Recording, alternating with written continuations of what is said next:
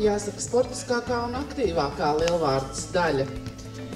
Visi tie, kam neskatoties uz garajiem svētkiem un lustīgo ballēšanu, šodien ir spēks nodoties sportiskām aktivitātēm. Un ir patiesas prieks, ka pateicoties publisko partnerattiecību biedrībai Zied Zeme, šodien varam atklāt multifunkcionālo laukumu, kas ir kā dāvana visiem novada sportot gribētājiem.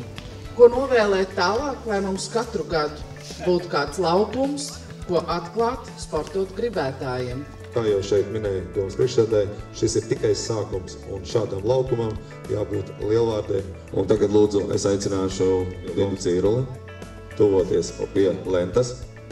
Lūdzu, pasniedz šķēres un sagriežam pa gabaliņam, ko pēc tam varēsim arī novietot. Sagatavosim tātad smuki. Viens gabaliņš aplausī!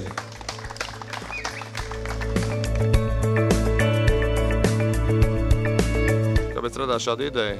Ideja radās tāpēc, ka uh, bija savā laikā labs piedāvājums no Latvijas Futbola Federācijas ar iespēju iegūt sintētiskos sporta spēļu laukumus. Diemžēl šis laukums bija par mazu, lai viņu atbalstītu ar sintētisko zālīti. Ja?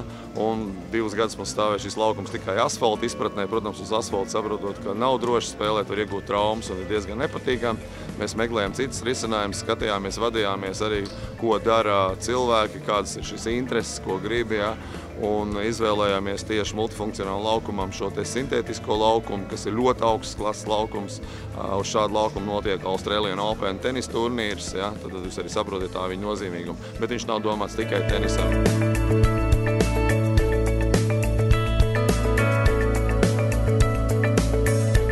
Ir patīkami, kad mums ir arī no Ziedas zemes pārstāvis ar tenisa raketi. Nostājies lūdzu uz līnijas.